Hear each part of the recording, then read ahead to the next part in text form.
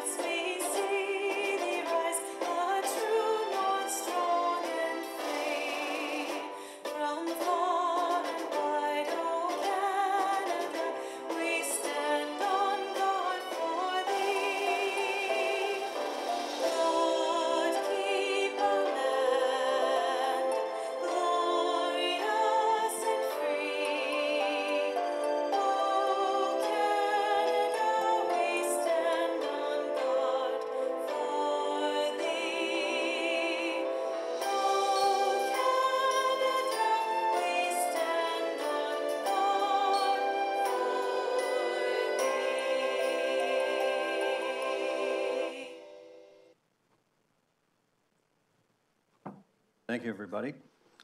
Um, 210 years ago, indigenous people here began welcoming settlers from all over the empire. Soon, the new settlers were helping slaves escaping from the United States to settle here too.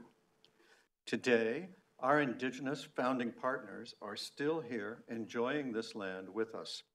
They fish and camp under their Treaty 22 rights. Indigenous people in their thousands also mm-hmm. live with us as neighbors and friends. Our indigenous, white, and black settlers created a community with an attractive degree of harmony and prosperity. And by 1857, Ontario gave official recognition to Oakville as a town. At Town Hall 160 years later, we fly the flag of the Mississaugas of the Credit beside the flags of Oakville, Ontario, and Canada. We fly these flags together to acknowledge our origins. People from all over the world are attracted to the livability we have created. We offer newcomers a warm spirit of welcome. We offer everyone our founding story so that everyone can know what they are part of. We feel sorrow and distress for acts of racism and intolerance suffered across Canada. We want our future to be equitable and inclusive for all. The path of truth and reconciliation can lift and unite us. Now, before we begin our scheduled council meeting, it's important to me to note that June is the month during which we celebrate our community's Indigenous history as well as pride. Our diversity is a vital reason for why Oakville can be and stay Canada's most livable town. Today is National Indigenous Peoples Day. We acknowledge the Mississaugas of the Credit First Nation as the traditional custodians of the land we inhabit by flying the Mississaugas of the Credit flag at Town Hall. In 2019, in fact, Council voted to add a permanent Indigenous flagpole at Town Hall for the continuous display of that flag. Tragically, this flag and all others at town facilities flew at half-mast during the first week of June. This was done in honor of the 215 Indigenous children, the- the bodies of 215 Indigenous children found in a mass grave at a former residential school site in Kamloops, British Columbia. I would ask now for a mo- a moment of silence in, uh, in recognition of the event.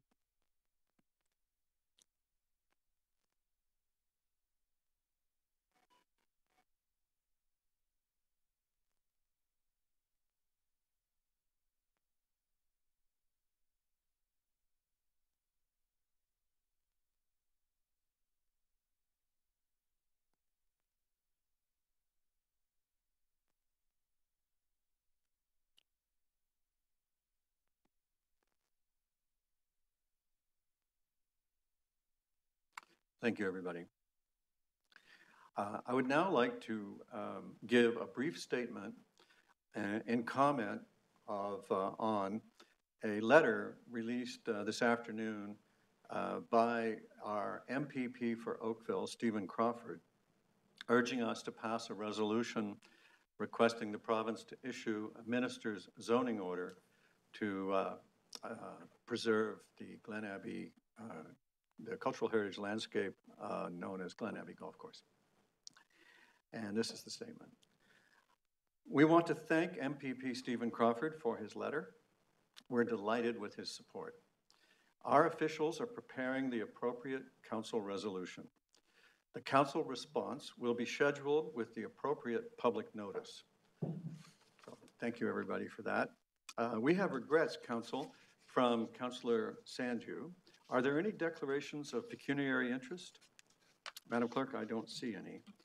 Council, uh, do you have corrections for the minutes listed in the agenda? And if you haven't, is there a mover and seconder to confirm them? Councillor Adams and Councillor Knoll, thank you. Any objection or corrections? Madam Clerk, there are none, the minutes are adopted.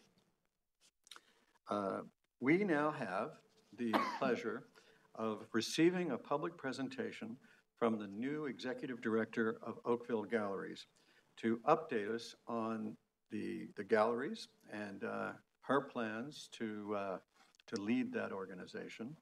Uh, Sally Frater, uh, uh, welcome. Uh, Council looks forward to working with you, as do I, and we look forward to your information. You have the, you have the Zoom, as we're saying these days.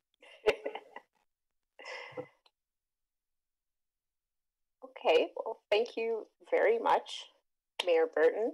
I'm very happy and grateful to have the opportunity to address the town council and to speak about some of the um, activities that we have been working on since the beginning of the year. I'm especially excited to have the opportunity to engage with many of the councillors since the town of Oakville is one of our biggest supporters and and partners in all of the work that we do. Um, next slide, please. So this is a picture of me. I thought I should begin by introducing myself to everyone. Um, as the mayor mentioned, my name is Sally Frater, and I'm the executive director at Oakville Galleries. Wednesday will be the official marking of my third month in my role. Uh, I haven't been here very long in some ways. It does seem like a long time, but I haven't been in the role very long. To just give you a bit of background, um, I've been working in the cultural sector for close to 16 years. Uh, prior to beginning my role at Oakville Galleries, I was the curator of contemporary art at the Art Gallery of Guelph. I also worked um, as the artistic director at uh, Center 3 for Artistic and Social Practice in Hamilton. And I most recently was working in the States as well. Um, I was the curator of modern and contemporary art at the Ulrich Museum of Art, which was a university museum in Wichita, Kansas. So next slide, please. I am assuming that everyone on council is familiar with Oakville Galleries, but in the event that some people may not be, um, we are an arts organization and we have the uh, fortune of having two two sites. We are on the sunny shores of Lake Ontario in the beautiful setting of Gairloch Gardens. Next slide. And we are also we also have a site at Centennial Square. And what I really appreciate is about having these two locations is that it allows us to engage with the community at different at different sites or different locations. Next slide. We also have an outdoor sculpture collection, and uh, we are very fortunate for it because it has allowed visitors to continue to engage with our collection at a time when we're closed to the public. Um, this is an example of some of the work that is in the outdoor sculpture uh, sculpture collection, we have a number of works by renowned Canadian and US artists, such as this piece by Catherine Widgery. Next slide, please. And this other work by Liz Magor, Channel. Um, as I mentioned, we're very fortunate whenever I drive up to the building where our administrative offices are at Gairloch Gardens. Um, I, I I'm able to witness viewers engaging with these works. Um, next slide, please. So this year, before we went into our third lockdown, we were um, fortunate to be able to open two exhibitions to the public. In our Centennial Square location, we featured Dedrick Brackens, a Los Angeles based artist, and his exhibition, Shape of a Fever Believer. The work um, featured weavings by the artist of, I believe there were seven weavings that explored themes of American literature, folklore, um, black, uh, queer, and black experiences of the um, American South. Um, the work in particular looked at the at the rise of the um, AIDS epidemic or the recent sort of recurrence and rising rates in Black and Brown communities. Uh, next slide, please. This is another installation view of that exhibition. And we also had an exhibition at Gairloch Gardens. Next slide, please. By Senga Nengudi, who is a Colorado based artist. She is an established artist. And her exhibition, Hourglass, featured works in sculpture. Um, she incorporates a lot of found materials, uh, water, plastic, and sand. She also featured works in video and and um, writing pieces as well. And the waterworks were a nice complement to the Gairloch Garden setting because it was, in some ways, a reference to Lake Ontario. Next slide, please. This is another ins- installation view of Senga's show. Um, next slide. And what we're currently working on, one of the programs that we are working on, is an upcoming exhibition which will officially open on September 19th. It is called Two Truths and a Lie, and it is being organized by our assistant curator, Teresa Wong. And it features works from the collection. There will be, I believe, at least 16 works by 16 artists who are featured in the collection. And the exhibition, to give a very simple straightforward description. It looks at the ways in which we create myths and narrative and how we determine what is true or truth. Um, next slide, please. So last year, our camp sessions were very successful. We're just gearing up to launch our 2021 camp sessions. Our sessions are selling out. Um, we have smaller camp sizes to allow us to um, have students into the site or on site rather. But a lot of our programming, weather permitting, will be held outdoors, and the smaller class sizes will um, allow us to operate the camps in accordance with municipal and provincial COVID guidelines. We're really excited about welcoming students and campers back to the galleries. Next slide, please. As many cultural organizations have had to do, we had to transition most of our course and workshop and public programs offerings to online platforms. So we use Zoom um, as we are doing this evening, and we also took advantage of Instagram. I was very taken with this initiative, as many of our audience members were, visitors were, by our educator, Erica Morgan Talley, and our um, marketing and communications coordinator, Jordan Stewart. They created these Take Five Studio videos, which were which provided step-by-step instructions, which allowed kids to make artwork at home with materials that they had on hand. They were very successful. Next slide, please. We also had a youth watercolor painting workshop um, this particular workshop, I believe, had 40 participants, and we were very excited about it. It uh, sold out very quickly. We had a long waiting list. We ended up allowing everyone who was on the waiting list into the workshop. And one of the things that um, transitioning to online platforms did was it allowed us to broaden our reach. So, in our March break camp and also in this youth watercolor workshop, we had a few participants. One was from India, one was from the UK, which allowed us to broaden the scope of who we could serve through our through our courses and workshops. Next slide, please.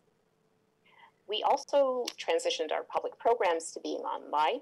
Um, this is a screenshot from one such program, which featured Justine A. Chambers, who is a Vancouver based performance artist, and her frequent collaborator, Laurie Young, who is also a performance based artist. But currently, Laurie is based in Australia, and Zoom allowed us to bring the two of them together to deliver their, their talk. We had 40 attendees which was quite great, um, particularly considering that a lot of people are having Zoom fatigue. Another point that I wanted to mention was our assistant curator led a tour of Dedrick's exhibition and Senga's exhibition, and we had 70 participants for that online tour, and then 80 people, 81 people rather, viewed it after the fact. So that was quite successful. I should also mention that both of those exhibitions received international reviews in leading art journals. Next slide, please. We've also tried to take advantage of our online presence, or increase it rather. So next slide, please. We have established two new programs where we are offering um, highlights from our past um, Oakville Galleries catalog publications. And we've also started a program uh, called Collection Highlights. And what what that program consists of are staff picks. We're each selecting a work and we are sharing what it is about this work that speaks to us. So it's allowing us, this is shared through Instagram, and this is allowing us not only to share more of our collection with the public, but it's also allowing us to provide um, tools for looking at art to our audiences. So, for those who may not be as familiar with um, different ways of deciphering artworks, we're using um, layperson's language to describe the composition of works, to describe the concepts and the ideas behind them, and we're hoping to increase our engagement of, or the engagement of our programs through this platform. Next slide, please. So I'm going to wrap this up because I don't want to take up too much of your time. So what we're planning on doing in the next six months are really looking at the site because we likely will not be here for much longer. So we're trying to create programming that takes advantage of these beautiful gardens that we have and the wondrous Lake Ontario. So we're looking at um, developing a sign art project that could take place and take advantage of the gardens next year. We're looking at developing a performance program and also um, gallery based programming that explores themes of water ecological issues, um, personal experiences with water, those types of things. We're looking at using our social media presence and online programming to continue to grow the reach of our audiences and to also develop different ways for local audiences to have to um, experiencing programming that capitalizes on their in-person experiences at the galleries. We're also really excited, and I'm excited in particular, that a lot of the COVID restrictions seem to be lifting because this will allow me an opportunity to go out and meet the different community partners in person. I've started having visits with um, uh, some of the senior cultural managers from the town. So I was really, I had a really great meeting with three of them last Friday. I'm looking forward to meeting more cultural groups in person and figuring out how we can collaborate on programming and how we can kind of grow the galleries and kind of grow our presence and make people more aware of what we do and make them feel more welcome. Um, and to do this, what we're going to do is we are going to develop a strategic plan. Our recent one um, was it had a five-year scope and it recently ended. So I'm looking at developing a new one that will take my vision for the galleries into account, as well as input from the staff and our board and different community stakeholders, and that will lead us into the fund into the fundraising study um, that will um, help us to guide our vision for our next our next home. So I think I'll just end things there. And I just want to again thank the mayor for the time um, to allow me to let you know what we've been up to and to introduce myself the councilors. Well, thank you very much for the presentation. I'm excited at the vision of public engagement that you're bringing to the job. This uh, institution that you're leading has a, a, long and cherished relationship with the town. And uh, I'm hoping that together we can lift it to new heights of popularity and engagement with the public. And uh, I'll just uh, be, uh, just in case, let me ask if there's any counselors with questions for you before we let you go. Council, are there any questions for Ms. Frater? All right. Ms. Frater, thank you so much. I'm so glad you've uh, joined us. I really appreciate the information that you gave us. You have a very engaging way of telling the story, and I think that's going to do the galleries a, a world of good. Thank you so much. Thank you. Have a good evening. Bye-bye. Bye-bye. Um, Council, uh, we, uh, we now come to the point in the agenda where we resolve into committee of the whole if two of you will favor us with a motion and a second. Councilor Grant, I saw your hand before technology cut everybody away. Um, And I'm, uh, there's Councilor Lishchyna. So there we go. Councilor Grant and Councilor Lishchyna. Any objection? No objection being seen, that carries. Council, we have uh, uh, five consent items and, uh, and one confidential consent item.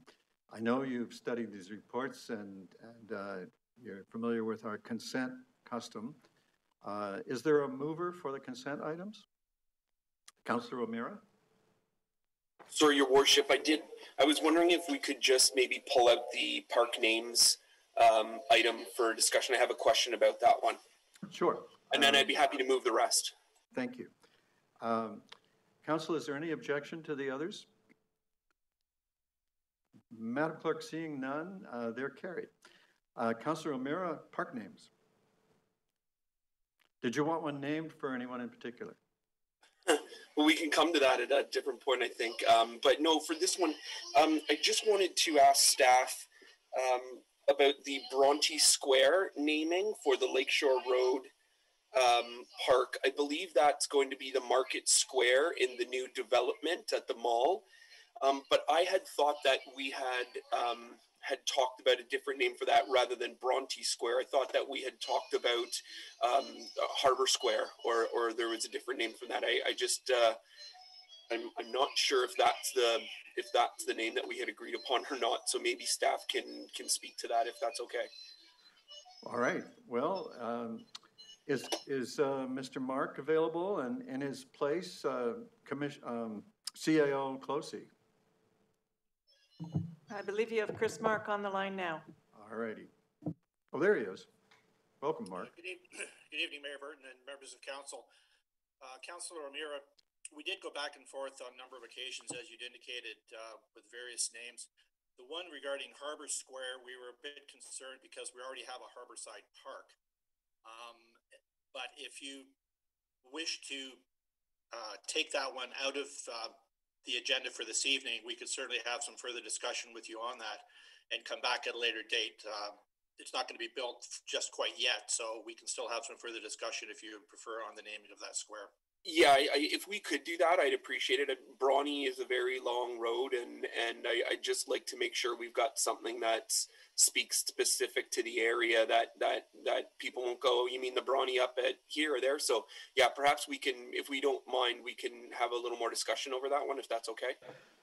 All right, Absolutely. that, that works. And Counselor, your motion, assuming you still want to move it, would be that we approve all but that one, and then that leaves that one open for you.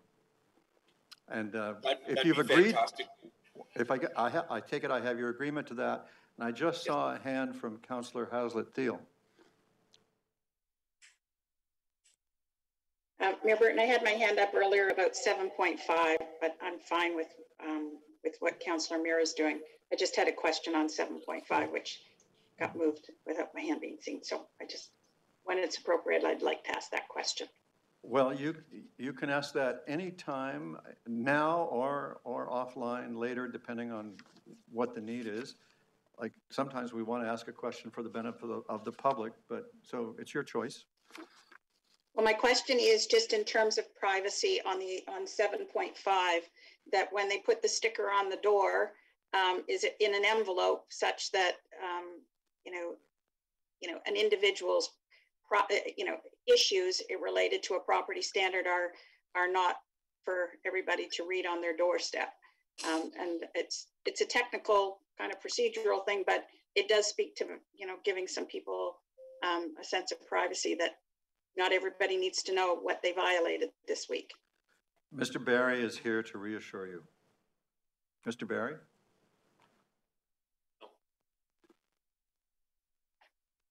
Through you, Mr. Mayor. Um, When property standards orders or, um, or lot maintenance orders are issued, they are put on the door visible, and the intent is for them to be visible. So if somebody can actually see that an order has been issued, and that's, that's been the general way we've, uh, most municipalities deal with property standards and lot maintenance orders. Yeah, when the weeds, when the grass is 12 inches high, everybody in the neighborhood wants to know they've been served, I guess is the way to put it. So, so I understand that, but are there some that are more sensitive uh, where some judgment is used? Um, Through you, Mr. Mayor, um, properties, they, they do become part of the public record, so they're not something that's uh, protected by freedom of information or something we would, um, in any case, eh, with the property standards or lot maintenance, decide to keep them secretive in any way, um, unlike certain charges that might be uh, Provincial Offences Act charge. Okay, thanks for clarifying that for me. So the bottom line is keep your property in order. All right, council, thank you. Uh, We can now move to uh, the discussion items. We have uh, five of those and one confidential discussion item. And the first discussion item is the COVID-19 update from our CAO, Jane Clohecy. Ms. Clohecy, you have the Zoom.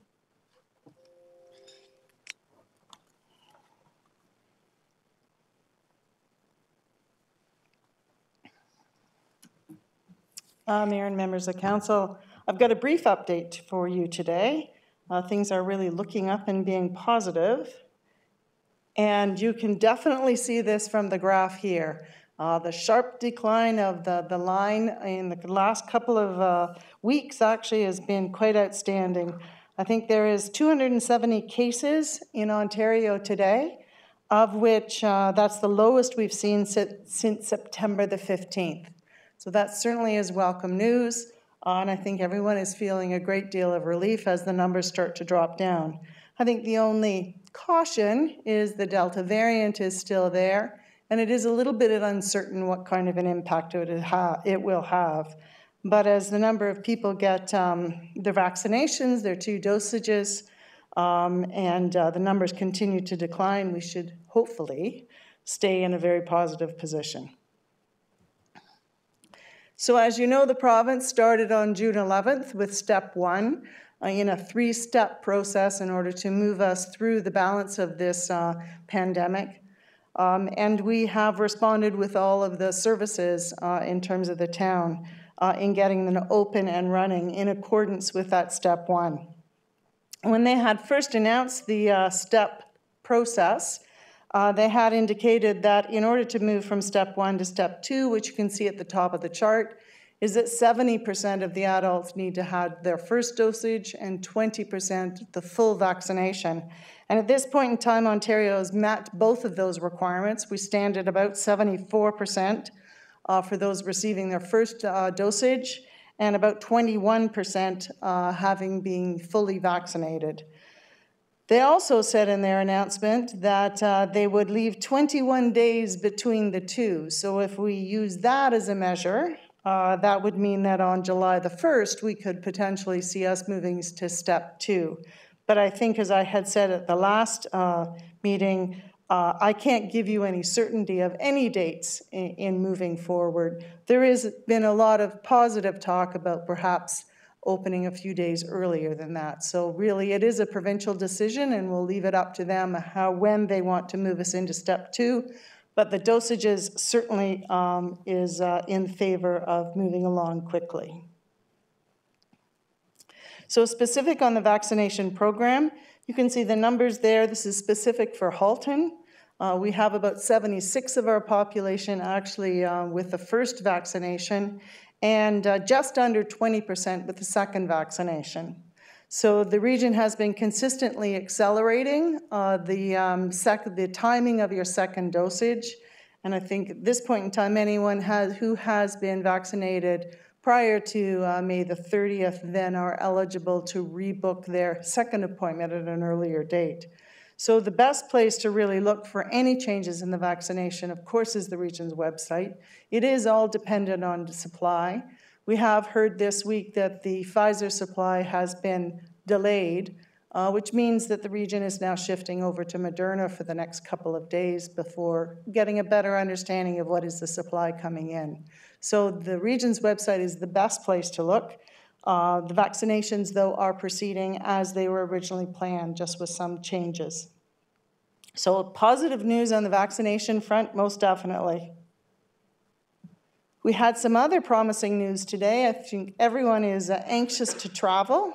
Um, Right now, what has been announced, and it was just announced this morning, so uh, these are a few facts that I have from it, is that uh, uh, Canadians and permanent residents that are fully vaccinated can come into Ca- Canada without requiring the self-quarantining as of, uh, I think it's midnight of July 5th.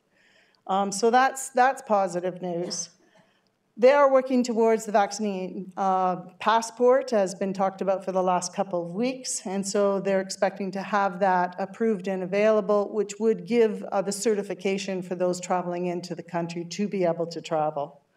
Uh, At this point in time, the uh, US border remains closed, um, and it- so it's only at this point that we understand that the uh, Canadians and permanent residents can move across the borders, but we expect those things to be unraveling fairly quickly, uh, unraveling, uh, progressing, so that more of us can travel, which is, again, some positive news, getting back to normal again.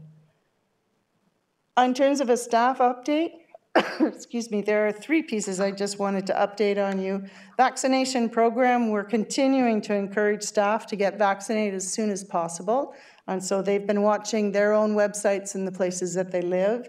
And we've been giving them every opportunity with staff time in order to go out and get their vaccination. Um, so that's proceeding very well. And I think as we had talked the last time, we're not tracking that because it's not really something we, we can track and do really anything with. Um, but the encouragement is there in all correspondence with staff. We had also done our second pulse survey. Uh, it was about, I think it was the end of May that we had done it. And it's a, an opportunity to measure um, staff's engagement. Uh, and we had a fairly good response rate. About 58% of the staff um, responded to the survey, which is quite good.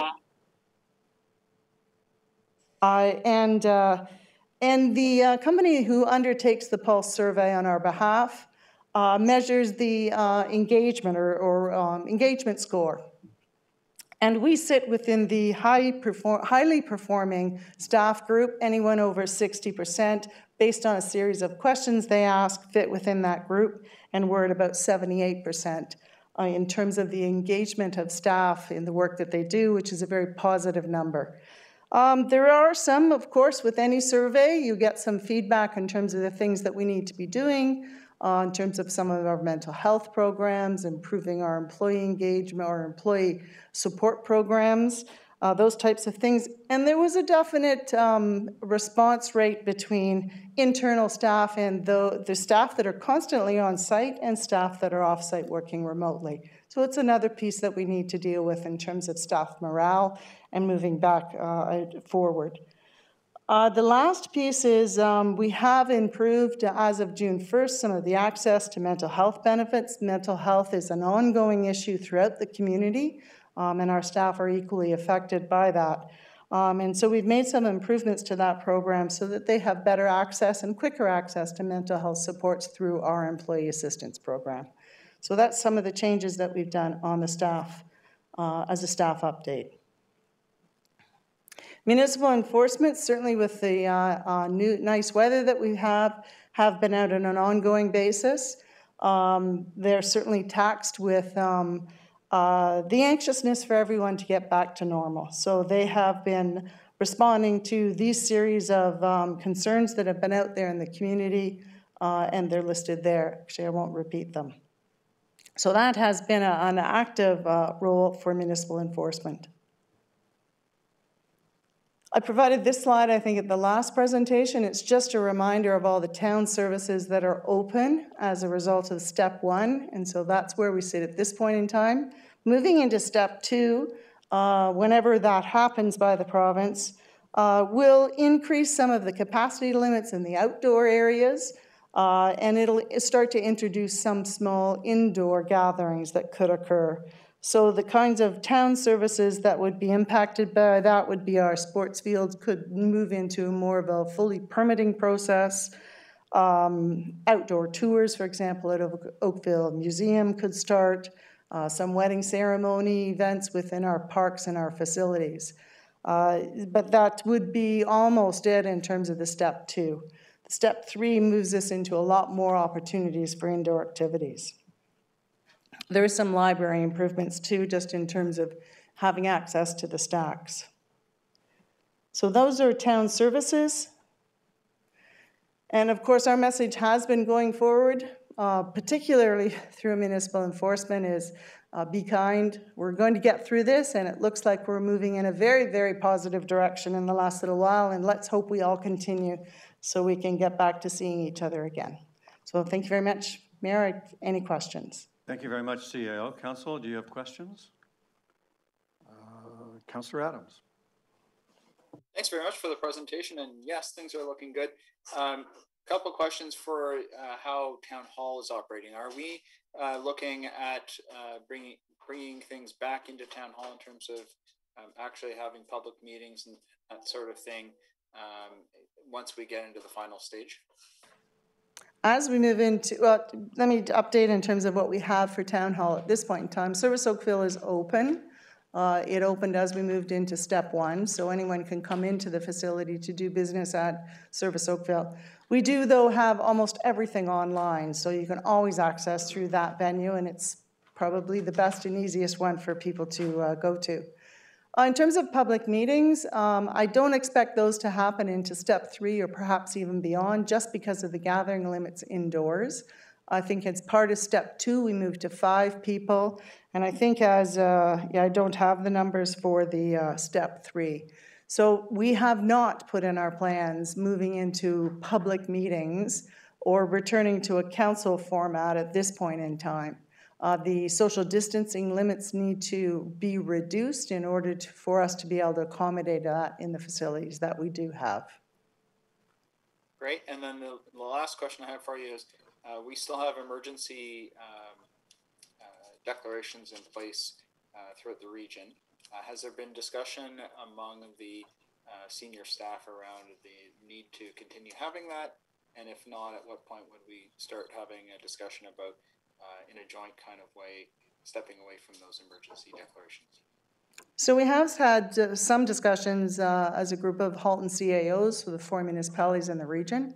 Um, Our general consensus, our consensus was that um, at this point in time, just entering or just moving into the step one uh, was not an appropriate time to be taking a lot of the emergency declaration off. We have the Delta variant, which is still a bit of a, a little bit of a wild card, and understanding what that implication could or could not be uh, needs to happen. So as we move into the steps, really as we start to get into step three, is the time frame that we could start to consider the removal of the uh, emergency declaration. Great. Thank you so much for everything that you and all the staff are doing uh, and continuing to do. Thank you, Councillor. Councillor Robertson. Thank you for the report, Jane. It, uh, it helps to clarify things, especially go into stages.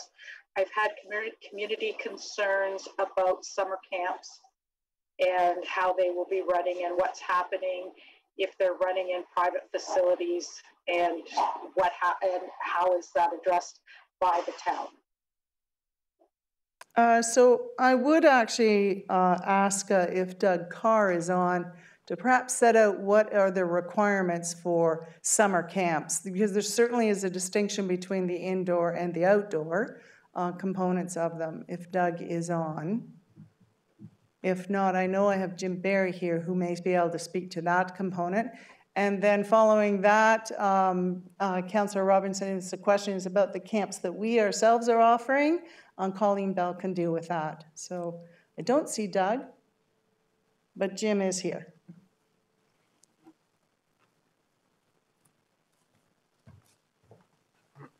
You, Mr. Mayor. Um, I understand that, uh, that some of the concern is the activity actually being held at, uh, at some of the summer camps, and that has made its way to municipal enforcement. we are looking at uh, individual circumstances of each of the camps that uh, have been brought to our attention. But in general, um, sports that would be played inside, um, such as hockey or, or that type of activity, um, shouldn't be played inside uh, as of the current state we're at, the current uh, level we're at. So if that's the case, uh, enforcement staff will be out, find out what exactly is going on and, and make sure that they're in compliance over the next uh, short period of time. Thank you, because I know that camps are already on the list this week because private schools are out already. So some camps are already running. Through you, Mr. Mayor, the only thing I would uh, advise that some of the camps I did look at, although they were registering uh, now, it was for a camp that was later in the summer. Uh, It is possible that they are anticipating a, a move to another level, which may, which they then may comply at. But uh, as, as enforcement staff uh, look at the individual circumstances, we'll uh, be able to determine better. Thank you so much. Thank you, Councillor. Uh, Councillor Lishchyna, you had your, oh, you do have your electric hand up. Uh, You have the Zoom. Uh, thank you, Your Worship. I, I guess it was just a follow-up to Councillor Robertson's question, and I thought that um, Commissioner Bell was going to mention. I was curious about uh, our wait uh, wait times for our camps, how, how that's been going. Through you, Mr. Chair. Uh, so we currently have two, uh, 2,940 uh, campers ready to go out of a possible 3,386 placements right now. We have 947 uh, uh, registrants on the wait list. However, uh, some of the people that are on the wait list are, are actually um, looking at later times. Um, so uh, we had a huge uptake, and we're really pleased to uh, uh, be able to process so many. This is almost double uh, the number of placements that we were doing at this time last year. So we're definitely on the right track. That's great to hear. Thank you very much. Thank you, Councillor. Councillor Haslett Theall. Thank you, Mayor Burton. Um, I'm not sure if, uh, Jim wants me to ask this question now or, uh, when he gets to Waterfront Park, but I have a question about parks on patrol and about resource allocation across the parks, including kind of evening coverage.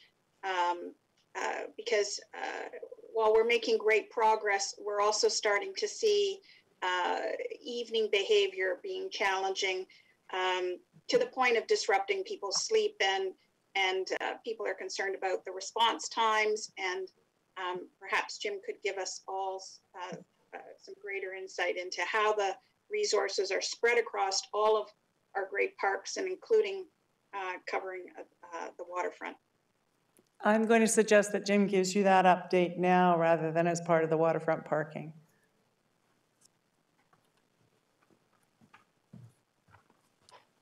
Uh, Through you, Mr. Mayor, um, to the councillor, uh, thank you for the question. Um, There's quite a lot happening in our our parks and waterfront areas now. So um, uh, as indicated uh, earlier this year when we, uh, when we brought on our park uh, officers and and park ambassadors, we have several locations across the town with static uh, officers and ambassadors on, on site, which include Bronte Bluffs, Tannery Park, and Coronation Park. So we have officers and ambassadors there on, a, on an ongoing, regular basis. We also have a list of uh, other parks, and, and uh, it, it really goes through most of the parks we have, where we have mobile patrols on with our parks officers, and uh, an even larger list uh, where we have uh, parks ambassadors going to them, so visiting them on a, on a regular basis, usually once or twice a day. Um, To address the, the issues on uh, long weekends, we have extra staff in, and, and I'll just remind council, we, we hired uh, 16 park officers. Uh, Eight of them are uh, full-time and the rest are part-time, so we use those staff to augment uh, any, any vacations or sick time that occur, but also to main, make sure we have a, a static number of staff visiting our parks on a regular basis. We also hired an additional, um, and this is for the year, um, not, not on an ongoing basis, but eight additional uh, mobile compliance officers to augment the 12 we have, and they're here till December. And they also um, add, uh, add staff to their daily, um, daily uh, platoon numbers. So we have a, a, certainly an increased number of staff available to respond to calls. If I look at uh, just hours, um, between uh, May 21st and June 20th, we've had, um, our park officers have done 504 patrols of parks that have taken up about 280 hours of staff time. Our uh, Police on uh, Parks Patrol program have uh, been out 20 times. Um, and our ambassadors have uh, conducted 1,385 patrols uh, with about 1,743 hours of staff time. So as you can see, we're spending a, a quite a bit of time out in the parks um, trying to get the word out and uh, make sure people are complying with regulations. Um, Thank you for that. As a follow-up, um, i- is there uh, mobile support um, into the evening? So I'm excited about the fact that we're going to actually put potentially a date, a time on uh, dusk uh, when the parks close. But what is the resource support um, later in the evening? So there's no question we're doing, um, you know, everybody is working hard throughout the day. I, I just don't know that we have clarity about what's happening in the evening and and perhaps you could give us some advice around uh, is it still call um, call into the non-urgent or the 911 if if the noise or um, the behavior is unacceptable to um, people in the community Uh, Through you, Mr. Mayor, um, I, I would recommend calling the town number, uh, 905-845-6601, uh, and that's 24/7. Uh, Residents uh, will get a response from municipal enforcement. The other non-emergency police number, um, at 905-8254-777, um, they can also call that, um, but uh, for the most part, we like to direct uh, bylaw matters to the town where possible. Um, and with respect to your question about um, into the evening, we have we have a tiered response to that. Um, again, we have the eight additional mobile compliance officers that have uh, been hired for the year, um, bringing our numbers up to about 20 officers, and they're on shift 24/7. So you're always going to have three, four, five officers on duty to respond to those calls. Um, our parks officers, that's a, that augments that group, and they work till about 10 o'clock, uh, depending on timing. Uh, we don't like to keep them out in, in the parks too late because they are out there on their own and they're a, a level down from the mobile compliance officers. And our parks ambassadors are really the same thing. We like to bring uh, them in around dark, um, just making sure that they're not out in the park after that. Um, I will note that we also have our municipal standards investigators uh, out during the day, but they also work into the evening and assist our mobile compliance officers as well. um, so this additional detail is helpful and, and hopefully some of the public uh, has noted some of those numbers et cetera um, so for 100% clarity if if they're they're uh, just making a heck of a racket um, and potentially i mean they could be drinking or whatever in the parks or on the road network there you want them to call the town's uh, number and is it is is the is there a sense of a response time because we often get asked you know how, will somebody get out here quickly Uh, Through you, Mr. Mayor. Um, What I can say is it- it'll get dispatched into our system right away. So as soon as they call in, the call taker will take it, it'll go into the system. Response time is a little more difficult for me to speak to because depending on the volume of calls coming in, officers are out in the field. It could take, you know, a significant amount of time at one call, which will delay them um, responding to other calls. So um, if they call that number, it will go into the system right away. Officers will pick it up in priority and, and respond to the call as soon as they possibly can. Again, thank you for that. So from your experience and with your insight with your colleagues across the province, are, do you feel we are staffed at the level um, to address um, the demand or um, are there any, is there anything else you need from council um, to support uh, the requirements in the parks and uh, in the evenings? Uh, Through you, Mr. Mayor, I think we've got an excellent program. I would, uh, I would put the program we- we've put together up against any other in the province. Um, There's always going to be um, uh, times when um, there's more activity in the, in the community than we can ever respond to, and- but we will get to those calls. And if it's a repeating situation, officers will get out there the next time and, and make sure we get to it. Thank you for all you do for us. Thank you, Counselor. Um, Seeing no more questions, is there a motion to receive? Counselor Gittings, thank you very much. Any objection? Madam Clerk, being no objection seen, that's carried. All right, Council, uh, we now turn to 9.2, the waterfront parks parking improvements proposed bylaws. Uh, Bylaw 2021-80 and bylaw 2021-82. Um, We have uh, Hanya Ellison, the Manager of Strategy and Support Services, with us for your questions, and uh, she has a slideshow for you as well, which may assist the public to understand it as well. Uh, So, Ms. Ellison, uh, you have the the Zoom. Thank you. Um, Good evening, uh, Mayor Burton, members of council. We have before you a report and recommendations to make improvements to parking lots at waterfront parks. As well, the report provides for some options for council's consideration should they wish to increase control and management of parking lots at Bronte Beach and Tannery Park. Sorry, am I doing, okay, there we go. Um, As you may recall, uh, CAO updates last year, there were significant amounts of visitors to Oakville's waterfront parks, resulting in overcrowding and concerns at the parking lots. Um, Just some perspective, we have stats from Environics uh, regarding visits to Bronte Beach Park. In 2019, between May 1st and September 30th, in 2019, it was 68,000 visits. And for the same time in 2020, there was almost 120,000 visits. So there was a significant increase. A lot of that could be related to COVID. Um, a number of programs were implemented last year to help address those concerns, and some have um, increased into this year as well. Parks Ambassador, Police on Parks, con- Police on Parks Patrol, um, social media campaigns. You know, if the parking lot is full, please come back another time, enjoy one of our other parks, as well special provision areas to help um, deal with uh, parking restrictions and um, overflow parking into residential areas. With the increased number of visitors to the parks, there was increased parking demand, and officers observed numbers of, uh, of vehicle issues, including vehicles parked on the grass, on roadways, obstructing access, blocking vehicles without permits in permit areas, parking overnight, storing their vehicles in parks, and um, also overflow into residential areas. Um, we have numerous um, pictures, however, um, the best ones are the ones on the grass. Showing a car parked overnight is kind of a difficult picture to look at. But uh, as a result of the increased park issues, there were increased parking violations. Again, comparing 2019 in Bronte Beach Park, we saw 137 tickets. For the same time in 2020, it was over 500 tickets.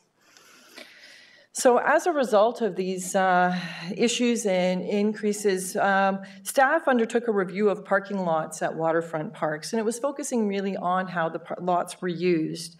For 2021, the focus of improvements were, uh, were at Bronte Beach Park and Tannery Parks. These areas were identified as high use, um, and numerous issues. Both areas provide for mooring permit holders and park and public visitors. As well at Bronte Beach, there's also boat operators with vehicles that are using the, uh, the boat launch and their visitors and events at Sovereign House. And both areas have multiple parking lots. Just to give a perspective or an, uh, sort of a view of Bronte Beach, there is a main parking lot, gravel parking lot on West River Street, Berta Point that provides just permit holder parking. Bronny Harbor Yacht Club has a very small area, and as well, Bronte Bluffs and Sovereign House parking lot um, is used both by visitors to Sovereign House as well as visitors to the overall park area. Note that there are 143 boats at Bronte Beach and Berta Point together, and each of those permit holders is provided two parking passes. If these permit holders can't find enough parking in the permit-only areas, they park in the public parking spaces, again, on a first-come, first-served basis. Similarly, um, at Tannery Park area, there's three parking areas. Tannery Park itself, um, a Walker Street parking lot, and on-street parking in Walker Street where perpendicular parking was reconstructed and lined. Um, Again, there are uh, boat permit holders there at Tannery Park, Oyster Bay, and with that, each permit holder is provided two parking passes. And similar to Bronte Beach, if these permit holders can't find parking in the permit-only area, they are parking in the public parking. So the review that we undertook um, identified a number of options that improve the parking management and control at the parking lots at, the, at these parks. Amendments to the parks bylaw to clarify parking restrictions and regulations, signage to show parking requirements, timelines, and restrictions, delineating the parking spaces and areas. Um, this would be subject to budget and funding approvals, adding bike racks to the parks to promote uh, cycling to the parks, again, subject to budget and funding approvals, and promoting cycling to the parks so that they wouldn't impact uh, the parking lots as cars wouldn't be needed if there's a bicycle there. Options to increase parking control and management also were considered, such as time restrictions and paid parking to promote turnover of parking spaces. Um, creating additional parking, if available, is a really great opportunity. Um, and we did identify this at Bronte Marina, which could help um, some of the overflow parking to Bronte Beach. And controlling overflow parking into residential areas. Council earlier uh, this spring approved um, special provision areas um, and these have been implemented in Bronte Beach Tannery, Coronation, and Lions Valley to prohibit overflow parking into the residential areas. As with any new parking programs, communication is critical to advise residents, visitors to the parks of the rules and regulations. With respect to the recommended bylaw updates, uh, we have a number of, um, of staff recommendations. First of all is the park closure. The current parks bylaw uh, states that the parks are closed between dusk and they open at 6 a.m. Staff are recommending that a 10 p.m. closure as a fixed time to make it clearer and easier for everyone to understand when is dusk. I actually found out when reading this that there's actually three types of dusk. Um, but we won't go into that. The 10 p.m. closure does not preclude walking through the park if you're walking your dog through the park or taking a stroll through the park. It also doesn't prevent being in the park for an approved activity. For example, mooring permit holders who have their boats at the, um, at the waterfront parks would be permitted to be there, as well if there's any special events. With the recommended uh, bylaw amendment closing, closing the parks at 10 p.m., we're also recommending that parking be prohibited when the park is closed. Again, if there's a vehicle there for a permitted use, it can remain in the park um, until that permitted use is concluded. There are also a number of other recommendations to clarify the parking um, in prohibited areas, including parking other than on roadway or the parking lot. As the previous photo showed, a lot of vehicles parking on the grass when they can't find parking. Um, officers have to use a violation of parks um, park on private property where prohibited. And it's not clear to the, the, the, ticket recipient why they got the ticket. So what we're trying to do is really clarify when they get the ticket, they know why they, why they, were, why they got the ticket and why they were parking illegally. Um, as well, there's other amendments um, to the bylaw we're rec recommending as housekeeping amendments to prohibit in, um, inoperable, unlicensed, or commercial vehicles. These are similar regulations we have in other uh, parking bylaws, to, so it makes it consistent, but also to deal with things as we have in the past where people just leave their vehicles um, in the parks because they don't have enough parking in their, in their property or they have an inoperable vehicle and can't deal with it. So we also looked at another other uh, a number of other options to control parking um, for consideration, and we looked at what other municipalities are doing, such as Ajax, Barrie, Burlington, um, St. Catharines, and a number of others, as their waterfront parks uh, are also popular. Some of the things we considered that would be effective uh, would be ease of use, ability to enforce, difficulty to misuse, a system that is equitable, provides for time limits and restrictions, uh, creates increased access through turnover of parking spaces and opportunity for cost recovery. A number of municipalities are implementing paid parking for out of town visitors, but are issuing permits to residents. While permits may be easy to use and easy to enforce, the permit program can hinder time limits and delay turnover of parking spaces. Um, if you have to require personal information to verify residency, there's a risk of, you know, information breach. If there's no confirmation of residency, the program is open to misuse. Providing residents parking can also create an expectation that they have a permit, so they should be able to have a guaranteed parking space. However, with the limited parking, that might not be the case. As well, it can be costly, costly to operate. One of the municipalities we, we looked at, they actually mailed permits to every resident. So we asked um, our friends in the tax department how many residential properties we have in Oakville. It's over 74,000. So based on the cost of the permit and mailing it, that would cost us over 350,000 just to implement such a program. So there would have to be other ways to do it. And communities we looked at that implemented residential permit parking programs at their waterfronts tended to have a number of parking areas and options um, for their visitors. As Bronte Beach and Tannery provide parking for mooring permit holders, the availability of visitor parking can be limited on any day. We also looked at time restrictions um, as a tool for managing the parking lots. The shorter the time, the time limit, the more turnover there is for parking, the more turnover, the greater the opportunity for available parking. Setting a time limit can allow visitors to enjoy the park while providing opportunity for more visitors to attend and equitable for all visitors. However, time limits alone without a system of payment or reservation requires increased enforcement resources by having to have multiple patrols, and as a result, vehicles can be parked significantly longer um, than the time limit before they're actually ticketed or enforced. We also looked at um, a reservation system similar to, to what Conservation Halton provides. This can provide um, for time limits, promote turnover, and op op options for cost recovery, and every visitor would have the same access. Um, it would, it is, there's a significant cost to it. Uh, we would require an online reservation system, electronic gates, or staff in attendance to verify registration, entry lanes to provide some queuing, queuing areas, and you'd have to either underutilize the parking to ensure the reserved space is available when someone shows up for the reservation.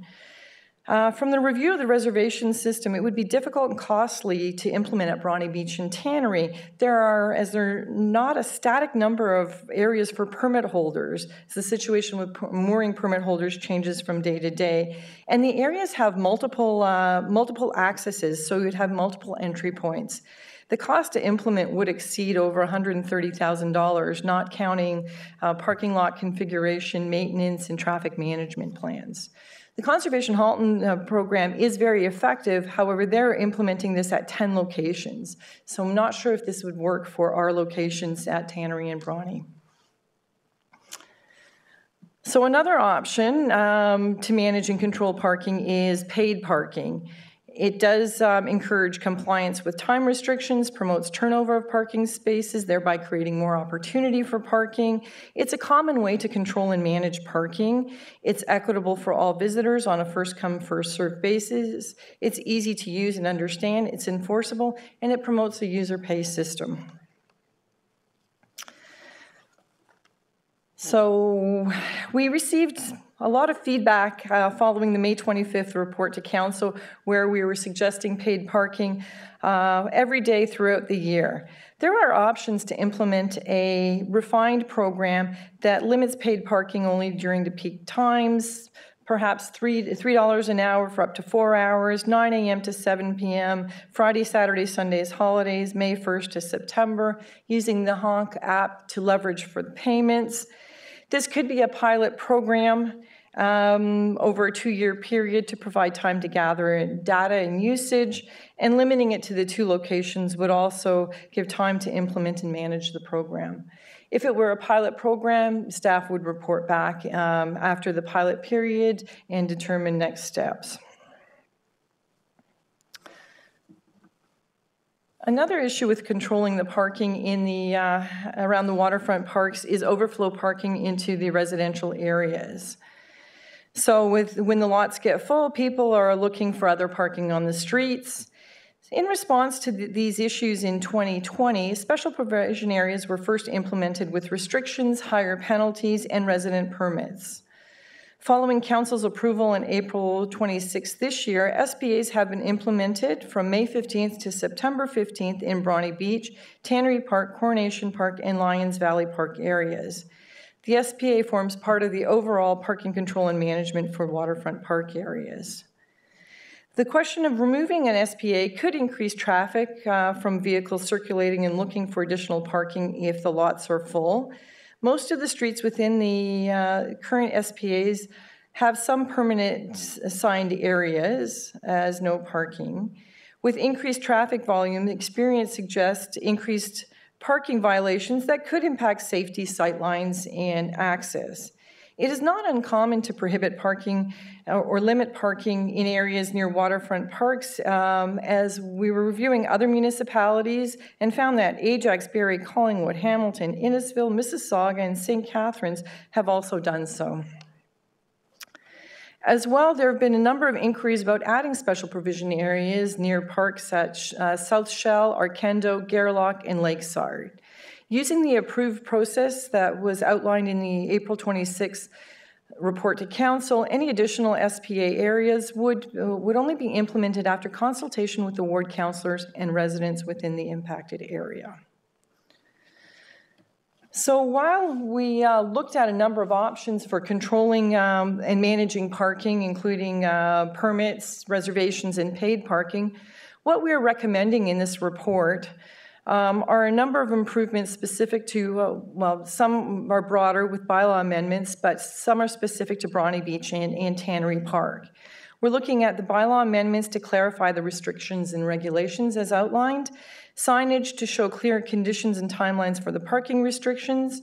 We'd like to update the mooring permit holders information and clarify the terms and conditions, coordinate with Sovereign House members and uh, Bronte Historical um, Society to assist with parking for their events, delineating the parking spaces in areas uh, subject to budget and funding to try and reduce uh, parking that, uh, that uh, creeps onto the grass or outside of the parking areas, adding bike racks and promoting cycling to the parks. Um, would help reduce the number of vehicles coming to the parks. Creating a temporary parking area at Bronte Marina for the summer season to help with some of the overflow parking at Bronte Beach and communicate the parking programs um, and any changes. Uh, we do have um, optional recommendations should council wish to increase management and control of parking at the Bronte Beach and Tannery Park areas. These are included on Appendix E of the staff report. These include implementation of paid parking pilot program, including bringing bylaw amendments to the next council meeting to implement the program, implementing resident parking Permit program, again, subject to funding availability and bringing amendments forward for next council for implementing the program, and reporting back to council on cost to implement a reservation system at Bronte Beach and Tannery Park, should council wish that. Subject to the direction we receive from council, we will work with communications to to update information on website, news releases, social media, promoting biking, walking, transit to the parks, working with the parks ambassadors and officers to ensure that they can inform park visitors of the parking changes and um, any any things that impact them. Signage to uh, to show the parking terms and conditions, informing the the uh, mooring permit holders of parking changes, and working with Sovereign House representatives to, uh, to help coordinate with their plans and events for parking, their parking needs. Again, should Council um, approve the staff recommendations, we would work with communications to implement the, the communication program, update the signage, working with parks, working with parks to implement temporary parking at Bronte Marina, um, working on installing bike racks, delineating parking areas as much as we can, subject to available funding, providing information and updates to permit holders, and working with frontline and enforcement staff to ensure they understand programs and parking changes so they can inform and educate visitors. So I understand there may have been some confusion as to what we are recommending, and I just wanted to summarize um, with this previous slide. This is what we are asking for in the recommendations to the report. Bylaw amendments to clarify restrictions, parking restrictions and regulations, including a 10 p.m. closing, no parking when the park is closed, prohibited uh, updates to prohibited parking areas and unauthorized vehicles, Um, improving signage to show clear parking conditions at the parks, updating permit holders' informations, working with Sovereign House members to assist with their parking for their events, delineating the parking spaces and parking areas so that people aren't parking outside of those areas, adding bike racks, promoting cycling to reduce the number of vehicles, creating a temporary public parking lot at um, Bronte Marina, and communicating the programs and changes. So I can leave this, uh, this just to show what we're recommending, and that concludes my presentations, and I'd be happy to try and answer any questions. Well, you have a few, and thank you very much for the report. I really appreciate the clarity you brought to uh, what you're proposing. The, um, and, you know, I can't help myself commenting that it seems a very measured response to the various and fairly, uh, fairly large response that we've had from the public over these uh, last couple of cycles. So I've got a, I've got a questioners list, and uh, it, uh, oh, yeah. Okay, so my questioners are Counselor Chisholm, Counselor O'Meara, Counselor Duddeck, Counselor Adams, and Counselor Gittings. And uh, any others that pop up from time to time, we'll, we'll fold you in. Counselor Your Chisholm? worship, uh, sorry to inter- interject, but uh, my apologies. I think Councillor Duddeck was first on the, uh, on the list.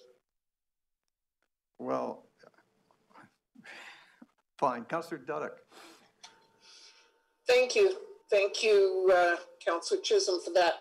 Um, thank you very much for the clarification for the uh, report, and I can appreciate it was um, very complex, shall we say, trying to get all the various moving pieces in uh, one, some, what I would say, a succinct motion. So thank you for providing that um, printout or whatever towards the latter part, because I was going to ask you to go back to it.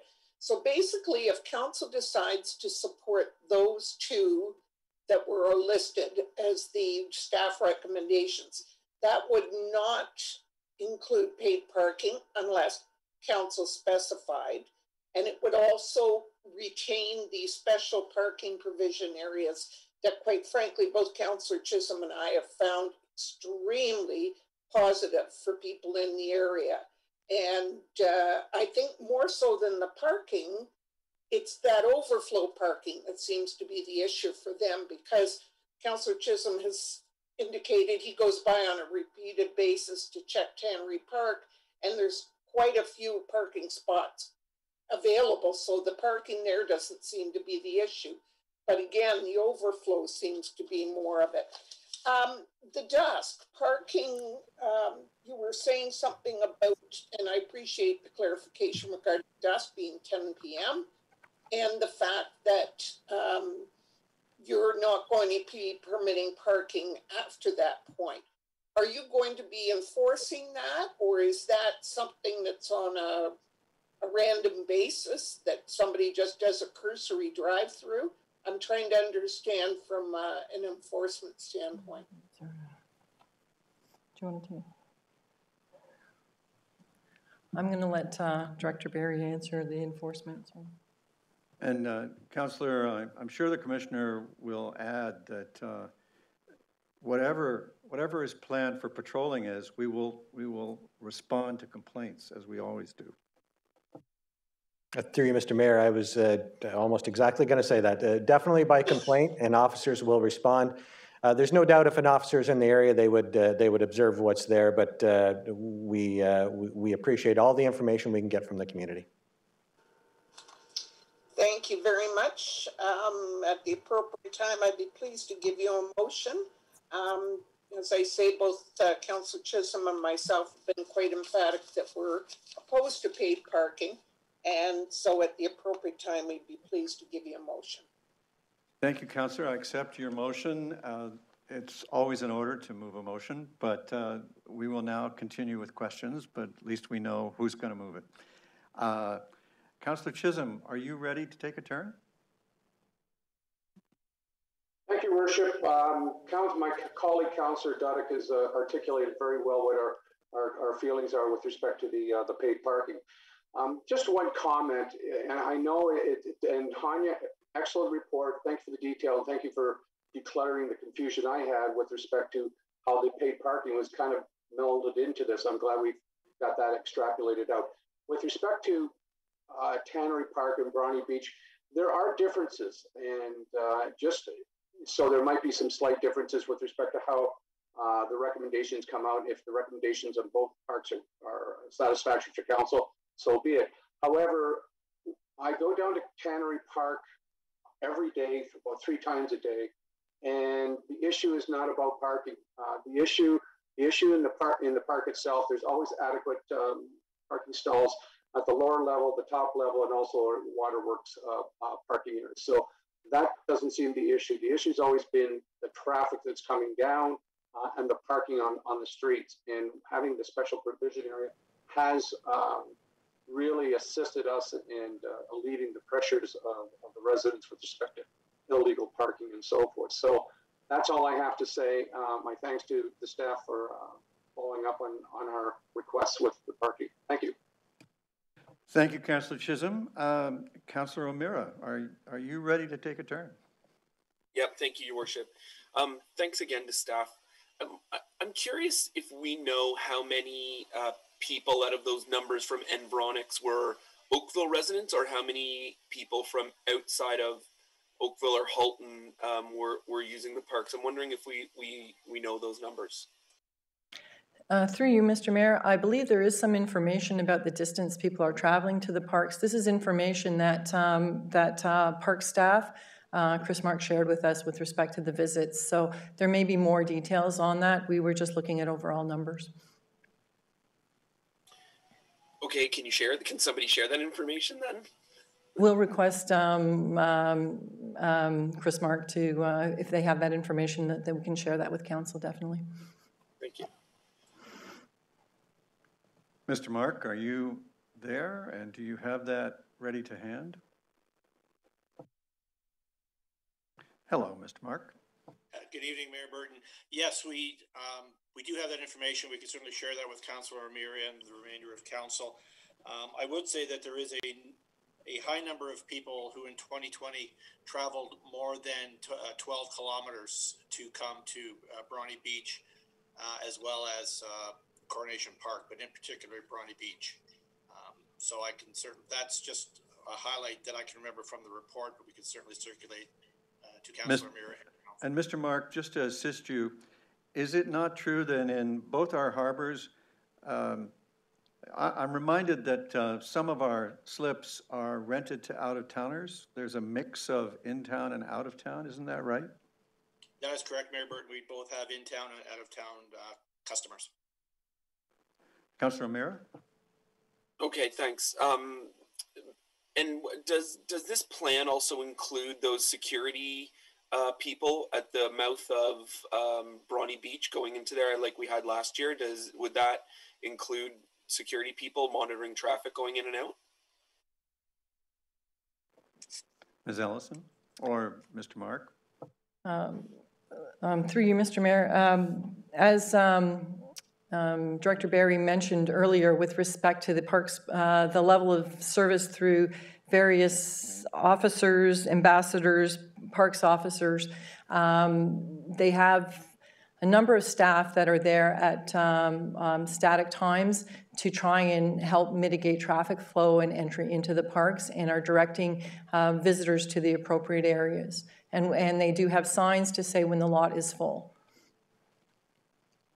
Okay, so there's there's going to be intermittent times where people are there, or there won't be people from Friday night till Sunday evening. we'll be staffing that lot, saying it's full. Don't use people's driveways to turn around. Keep going. I mean, I mean, I'm. I still don't see how this is going to stop five thousand people from driving down to use Bronte Beach. I, I just I don't see how this plan does that, and and and then they show up and there's no place to park and then we have the chaos that we had we have people deciding trying to go somewhere i just i'm i'm i'm unsure how we have solved that problem or addressed that problem Uh, Through you, Mr. Mayor, um, to the councillor, I, I would suggest that we probably haven't, we haven't stopped people from coming down. Will we have staff there? We do have static park officers in the area. And as uh, Ms. Allison has indicated, that um, we, we also have, the officers will be, um, will be using a board to indicate when the lot is full. Um, As the next tier, we then have the special provision area, which um, stops the uh, traffic from going and parking in the direct vicinity of the park and, and making a mess of those roads. But are vehicles still going to come down and are they still going to attempt to use the park and are they still going to find a, a lot full? Yeah, they will, they will still find that. This is really about trying to mitigate the impact when that happens.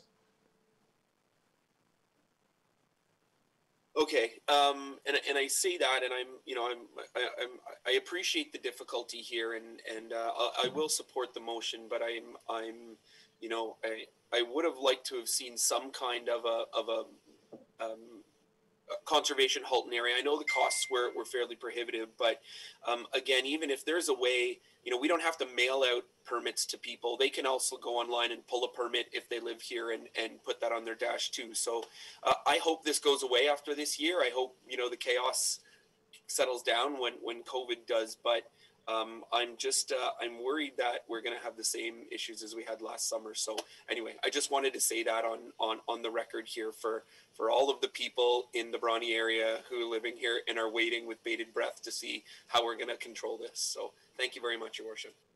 Thank you, Councillor O'Meara. Um, Councillor uh, Gittings?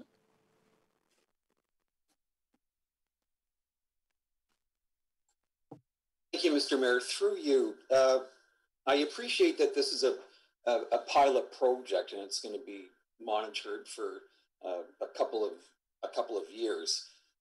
My question is, how will the locations be monitored so that we know if the desired effect is occurring? I guess with Tannery, I look at uh, it's easy to you know go up and go across the creek and go down to Lakeside and Lakeside's not going to have um, any, you know, any of any of these works in place. So I'm my first question is how quickly can we get feedback back to council in terms of any unintended consequences that may occur? Okay, um, Councillor, I'll take a first stab at that. Um, we have built a beautiful system for uh, counting and keeping track of uh, the dimensions of issues. And that, that tool is Service Oakville, and tracking numbers are issued for each call. And so if counselors, when they receive a complaint, will make sure that Service Oakville also knows so that it can be tracked, you will be doing yourself and your colleagues a favor. And I know in your case you do that, but uh, that, that is a really important tool we should not lose sight of because that's, in addition to a dispatch machine, it's a counting machine. And those are good things here. Um, uh, Ms. Ellison, do you have further information for the counselor? No, I think that was, that provides, um, uh, the best statistics will be through, uh, through Service Oakville as well. We will be looking and monitoring how many, um, how many tickets are issued in each of the areas. Um, should council approve the new uh, violations and um, the amending bylaws. So we will have those inf that information as well. So Mr. Barry's going to come and help with this. Um, I imagine Mr. Barry will reassure council that we're not going to ignore the other parks. Uh, through you, Mr. Mayor, that's absolutely correct. And I, and I will highlight that um, uh, with the special provision areas, um, we there is a process in there. So if an area, Lakeside, Arkendo, Gairloch, uh, other areas near Coronation, if if they um, if they find there's an issue, um, there's a process to extend or in, install special provision areas in those areas to also deal with that problem. So I think that's that's important because we have that flexibility. Um, but uh, as Ms. Ellison indicated, we also will be monitoring all of the impacts of this as we go forward. So if we do see a um, any type of impact that um, is unexpected, um, we have the ability to come to council, and, and we do um, we do have other options we can look at depending on the issues that that arise. Thank you, Mr. Barry. Uh, Councillor Gittings, is, did you get a good answer in, in any of that? Uh, received a good answer. Uh, thank you for that. And I appreciate uh, Mr. Barry mentioning Arkendo and Chancery and, and the uh, Promenade and, and a number of others. It, it's an ongoing concern. And I just, uh, you know, we obviously all have to do our part to be welcoming and to and to encourage good behaviors. Unfortunately, uh, all too often, uh, those behaviors are pretty poor. And my concern is that we're going to uh, funnel more and more people into a smaller space. Thank you. Thank you, Councillor Gittings. Councillor Adams and then Councillor Robertson. And then if Councillor O'Meara's hand is up for a second time, we'll come back to Councillor O'Meara and otherwise we'll, we won't. Councillor Adams. Thanks very much. Uh, I'm, I'll lower my hand right away so I'm not caught in the same category. Um, first, I, first of all, I, I totally agree about the paid parking and, uh, and what Councillor Duddeck was uh, saying earlier. I fully support the removal of that uh, particular option. I just wanted a clarification on the three the uh, number of hours parking limit. As I read it and I understand the staff report, that is not part of uh, what's being proposed. So there's no proposal to have a, uh, a three-hour parking limit within the parks. Is that correct? That is correct. At this time, there's no proposal for a time limit, just the, that the parks close at 10 o'clock. Great, that's that's fantastic. I'm very very pleased about that. Um, the last thing I was a little bit nervous about, and continue to be a bit nervous about, is the use of the uh, the SPA um, parking provisions uh, around so so many of the neighborhoods in, in those areas, and it's one of the things that uh, I know that Councillor Lishchyna and I hear about regularly from our residences. Um, uh, sentiment of it being an, uh, an unfair application of uh, parking prohibitions uh, that, that we've invested all this money in the, the waterfront and now we can't get down there. Um, uh, and I understand from what you've said that we've nearly doubled, is it nearly a doubling or something of the, uh, the traffic, the number of people going to those waterfront parks? Um, in 2019, pre-pandemic, were we seeing these kind of parking problems on the side streets? to the same degree that we were seeing them in, in 2020? Your southern councillors would tell you yes. And But in any event, I should, I should give you a procedural note. The SPAs our council policy in this term of council, and it'll take 10 votes to change those. I understand that. Um, my, but I'm asking the question as to whether it uh, continues to be, um, or if it was uh, an issue to the same degree as it was in 2020. Um, My, my information from your colleagues across Lakeshore is yes. I've seen people so desperate to go to the park that they think nothing of blocking the driveway of a resident, which I hope you'll agree is a, just a little bit Any- much. I, I appreciate that's an egregious um, misuse of somebody's driveway.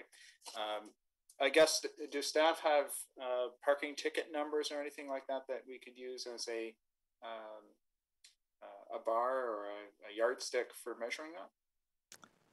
Um, Through you, Mr. Mayor, we show, we do have numbers from 2019 around uh, Bronte Beach, just as we use that as a comparison. So May to September in 2019, we had um, 137 tickets at the, the Bronte Beach Park. And for the same time in 2020, we had over 500 tickets. Okay, so that's a that's our yardstick, uh, and that's a pretty good yardstick. Okay, thanks very much. Thank you, Councillor Adams. Um, I believe Councillor Robertson is next, and then uh, because of, uh, and, and, uh, and then it'll be Councillor Theall because Councillor O'Meara took down his, his sign. So Councillor Robertson? Uh, thank you for the report, Hanya. I um, I understand people's hesitancy in terms of paid parking.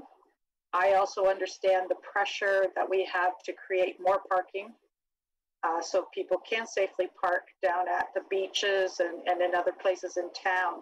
Um, reminding ourselves that only parking pays for parking here. How do we propose to gain more parking without paid parking?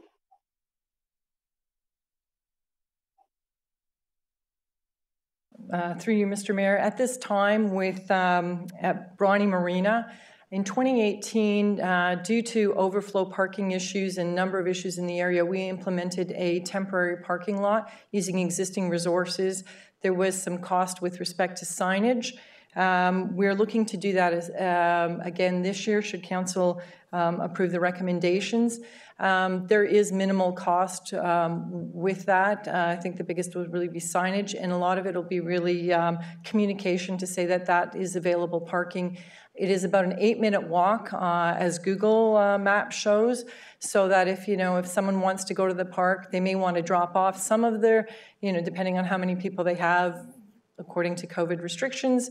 Um, but it is only an eight-minute walk from the marina to uh, to the to the Bronte Beach Park. And how many more spots does that give us? Um, I apologize right now. I do not recall, and I don't think I have it with my notes here. I can And, get um, back just to you. Sorry, I just want to go back to Councillor Adams in terms of the public. When we did SPAs, why did we do them on both sides of the street and not make it one side only? Um, Through you, Mr. Mayor, many of the streets in the uh, special provision areas are already signed one-side parking, so um, it wouldn't really restrict the parking. There are areas where uh, parking is permitted on both sides. Uh, To keep it uniform and easy to implement and easy to understand that the parking was restricted everywhere, again, residents were provided permits for themselves and their guests, should they need them, to temporarily park on the street. Thank you. I'm not opposed to it at all. I just wanted the public to understand why we did both sides for it. Um, and I will support the motion. I just, there is times when I look at Coronation and I look at Bronte Beach and I look at the chaos of parking and always wonder when some little kid is going to get hurt because nobody's looking for a little kid. They're just looking for parking and, uh, and hoping that maybe post-COVID, that issue will resolve itself. But for now, thank you for everything you've done and for the enforcement for everything. Thank you very much, Councillor Robertson. Councillor Haslett Theall. Um, thank you, Mayor Burton. Um, I, I have a few follow-up questions. Could, um, could you just confirm, is there a static officer at Lakeside, um, uh, on the weekends?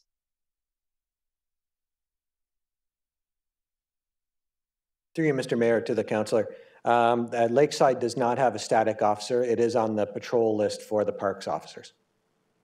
Okay, so, um, I, on behalf of a, neighborhood that does see overflow coming, um, from other areas, and it is a, you know, it is a prize destination. I, I, I hesitate saying that because, uh, it just keeps getting better and better, uh, in terms of the volume. Um, I would suggest that, um, there be consideration that somebody needs to be there, um, more than just a few trips of the day. Um, the parking on front is um, is hazardous on a normal day, um, just because of the quaintness of the historical district, um, and uh, having uh, regular um, somebody there throughout the day would would be beneficial. Um, so I leave that with you to to comment.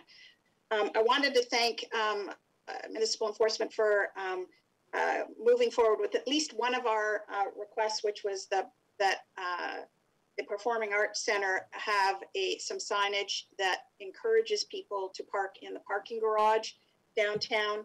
Um, but there is uh, an additional uh, request from Lakeside Residents Association. If if staff could comment on it sometime this week in regards to options of having the parking garage open in the evening and potentially even being free in the evening to uh, detract people um, uh, off the streets versus um, an SPA um, uh, in the lakeside area.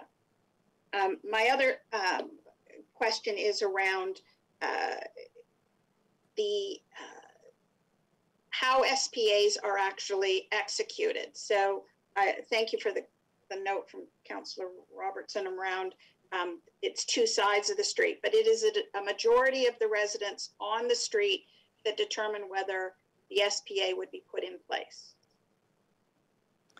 So through you, Mr. Mayor, um, as was outlined in the staff report, April 26th, um, they're implemented after consultation with the ward councillors and the residents. So what has happened um, is that the request comes to staff's attention.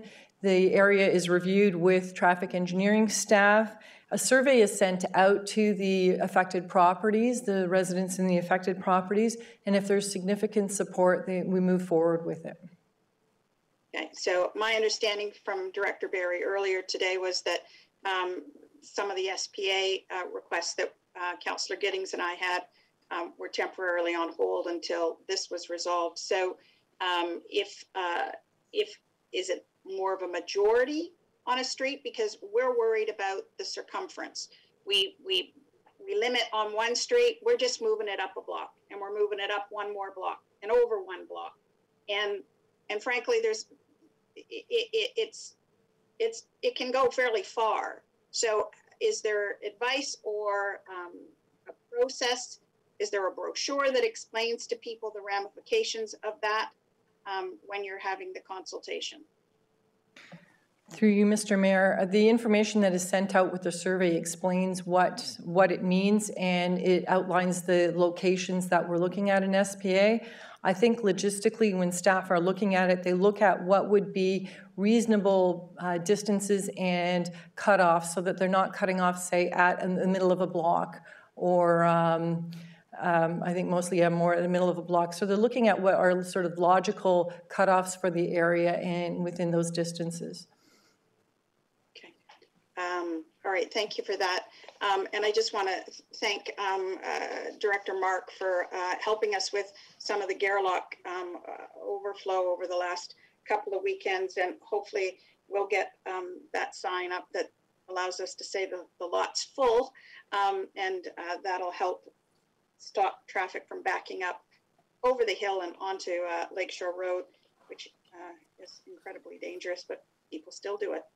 Um, so thanks very much. Thank you, uh, Councillor.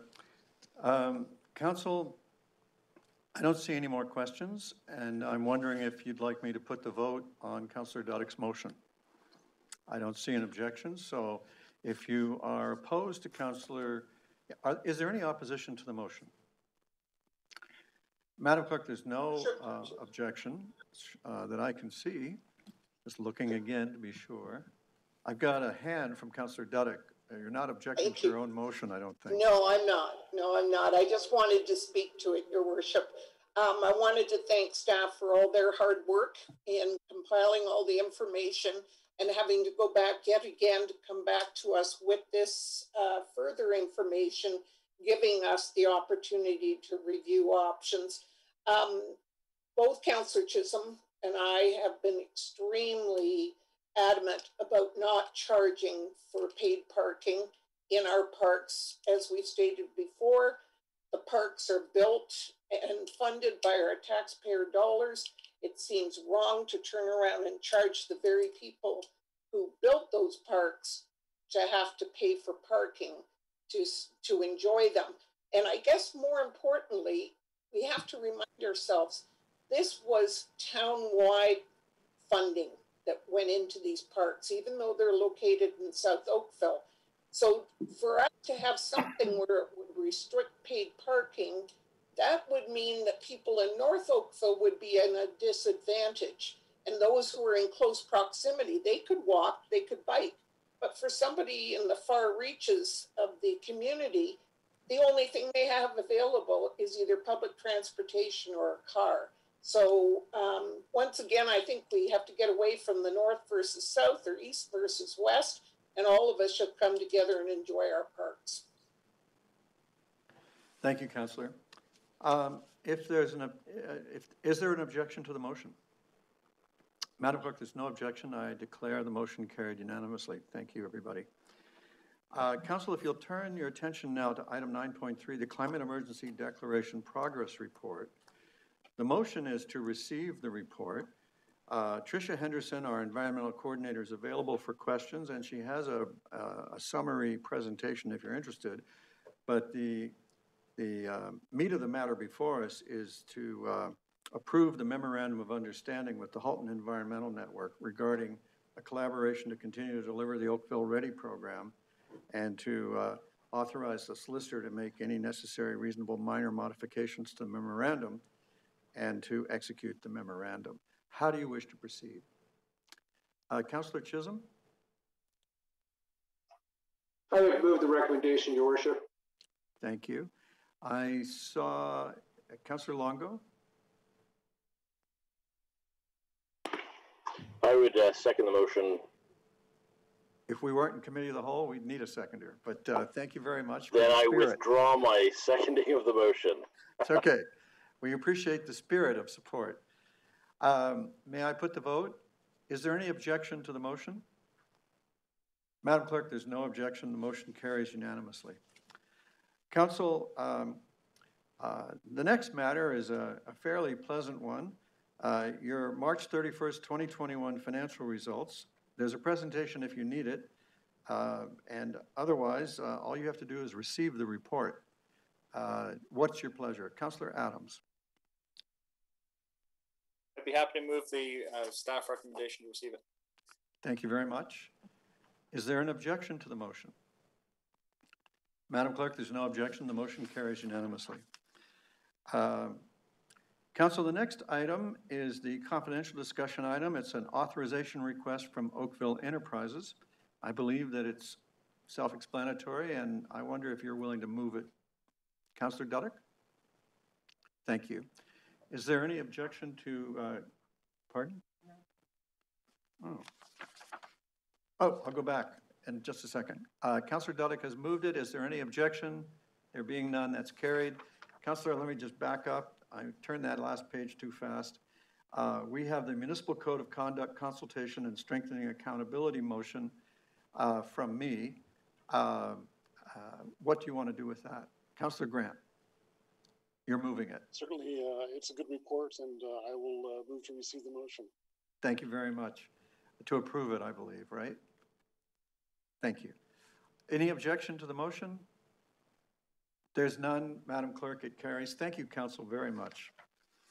Um, Now, um, we, we do not have any advisory committee minute uh, to approve or receive. And it's, uh, now would be in order for a motion to rise and report. We just need one person to do that. Counselor Longo, thank you. Any objection? There being no objection, uh, the uh, motion to rise and report carries. I rise and report, the committee of the whole has met and made recommendations on consent items 7.1, 2, 3, 4, and 5, confidential consent item 8.1, discussion items 9.1, 2, 3, 4, and 5, confidential discussion item 10.1, as noted by the clerk. May I have a mover and seconder for the report? Counselor Knoll, Counselor Elgar, thank you. Any objection? Madam Clerk, there is none, and the motion carries. Uh, Council, you've had your information items circulated electronically and your status of outstanding issues report. And uh, we now come to new business, and there is quite a bit. Uh, So first, uh, because new business is for emergency matters, congratulatory matters, condolences, and notices of motion, we have a little bit of, of uh, several of these. And I'd like to start by uh, asking you to join me in recognizing the Afzal family, many of whom live here in Oakville. And, uh, and a number of them, four of them, were, were uh, killed by a terrorist in London uh, last week. And uh, one member of that family is, uh, was injured and, and is recovering, but uh, deprived of his parents and his sister. Friends and relatives uh, in Oakville are, are very uh, uh, horrified by what happened, as well as are all of us. So um, that leads us to a point where we realize that we have to work harder than ever on uh, inclusion and equity and uh, diversity. Uh, and we, we need to join with the Muslim community to fight Islamophobia. And I'd like to invite you to join me in a moment of silence to honor the Afzal family.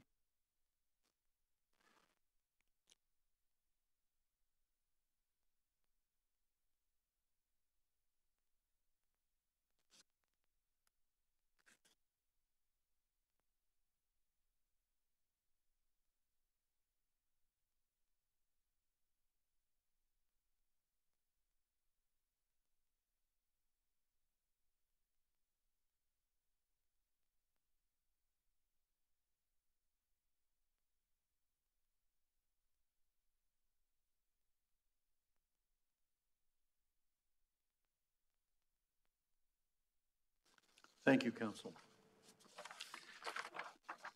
Um, Now, Council, I, I, I have a little bit of a special request to make of you. Um, Councilor Lishchyna is desirous of, uh, as I notified you, FC FCM is accepting applications to be on their committees, and we circulated to you a request for any of you who, who wished to. Councilor Lishchyna would, would like to apply for one. She needs the support of council in order to qualify to apply.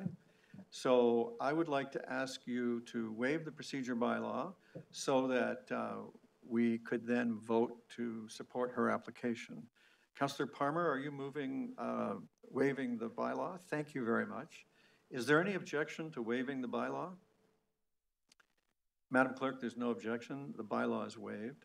And now, could I get someone to move uh, our approval of her application? Councillor Knoll, thank you very much. Is there any objection to the motion? Oh, that's right, we came out of committee of the whole, so uh, uh, Councillor uh, Chisholm had his hand up, so he'll be the seconder. Took me a second to adjust. We just rose from committee of the whole, didn't we? Uh, Is there any objection to the motion by Councillor Knoll and Councillor Chisholm? There being none, uh, and thank you, Madam Clerk, for your help with that, uh, that's carried unanimously, and uh, uh, The the clerk and I will issue the paper for you, Councilor Lishchyna, and we wish you well in the, in the competition.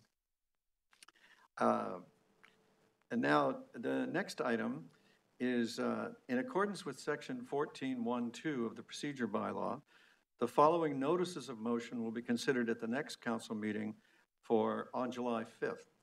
And the first is the uh, motion printed in the agenda from uh, Councillor Robertson, which, which I have been happy to second, and uh, that is the prioritization, prioritization of OHIP-covered eye care.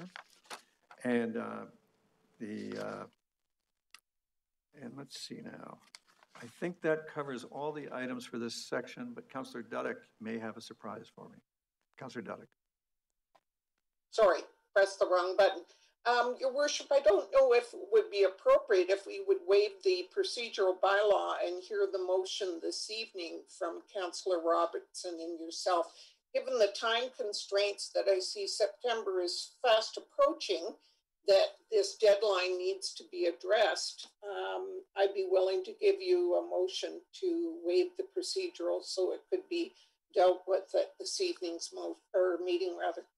Well, thank you very much. Uh, You've made Councillor Robertson and myself very happy, and uh, you've probably made Oakville's ophthalmologists very happy as well. So uh, uh, can I have a second over Councillor Duddeck's motion? Councillor Adams, thank you. Is there any objection to the motion to waive the procedure by law by Councillor Duddeck and Councillor Adams? Madam Clerk, I see no objection. The matter is, that's carried. Uh, Councillor Robertson, uh, uh, it's, uh, it's your platform now. Thank you, uh, Mayor. And for the Um, public, can I just suggest you read it as well as speak to it? Yes. Thank you. Um, I want to first thank Ruth Sheridan, who does amazing things with the people with um, eyesight and vision problems in Oakville and people with limited vision. And she brought it to the seniors working advisory group in terms of what was happening. And I think that people don't realize what will happen in September. But in September, optometrists, not ophthalmologists, optometrists will be taking a job action as of September 1st. And that is for any children up to the age of 19 and any seniors 65 and over who currently have eye testing done at an optometrist under OHIP. In the past 30 years, OHIP has underfunded optometrists. They've had a 9% raise in 30 years.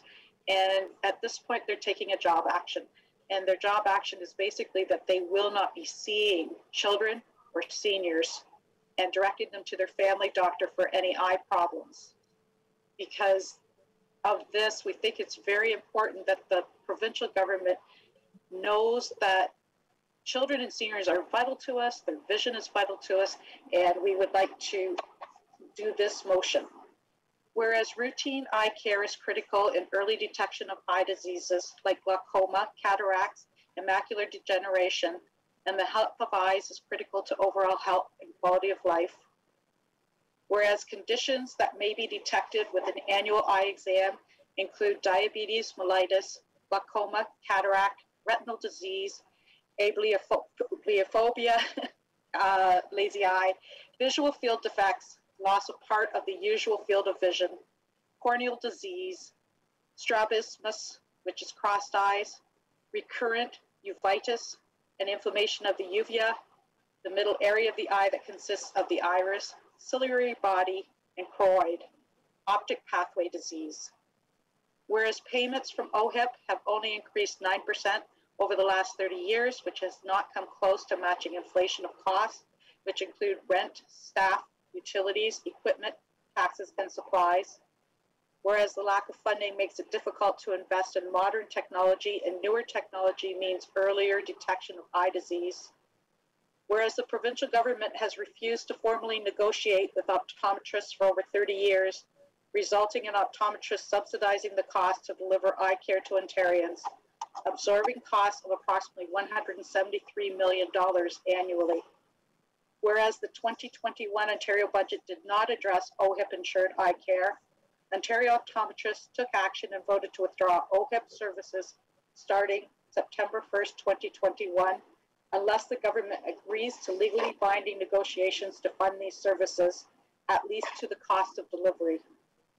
Whereas this job action will jeopardize good eye, care for those who need the care of an optometrist the most and will have the greatest impact on the most vulnerable groups, children whose lifetime whose lifetime ability to learn and develop depends on good vision, and to the elderly who are at the greatest risk for visioning threatening vision threatening ocular diseases. Therefore, be it resolved that the town of Oakville requests the provincial government to recognize the value that access to quality eye care that optometrists bring to all Ontarians and act now to protect it. That the provincial government address the OHIP insured eye care immediately and enter into legally binding negotiations to fund these services at least to the cost of delivery prior to any job action taking place. And that a copy of this resolution be forwarded to Premier Ford, uh, Minister of Health Christine Elliott, MPPs Effie Triantafilopoulos, and Stephen Crawford, the Ontario Association of Optometrists, and the Halton Region to seek their support and be made publicly available. And I ask for your confirmation of this motion. Thank you very much, Councillor Robertson. Uh, You, you stated the case very well. I will not prolong the meeting by echoing what you said, but I do support it.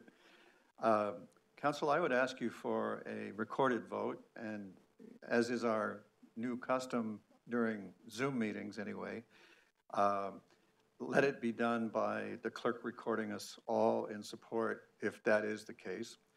And otherwise, we'll, we'll have a, a bit of a roll call. Is there any objection to the motion and the plan? Madam Clerk, there is no objection. Please, uh, please record this as a recorded vote in unanimous support. Thank you, everybody.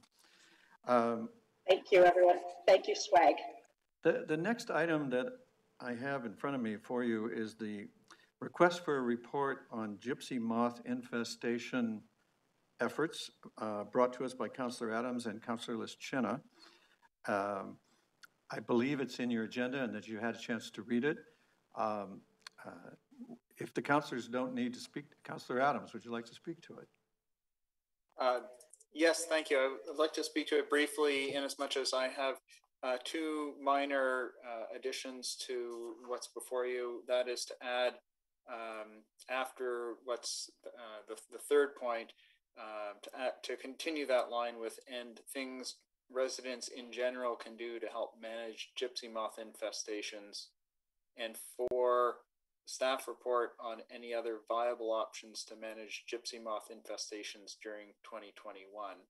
Um, and I'm hoping that staff would be able to, to provide the report in time for uh, any aerial um, uh, spraying uh, improvements to be made in the uh, upcoming year. Thank you very much. Um, Council, uh, uh, May I put the vote on the request for report as amended by the counselor or adjusted by the counselor? Uh, Is there any objection to the request for report?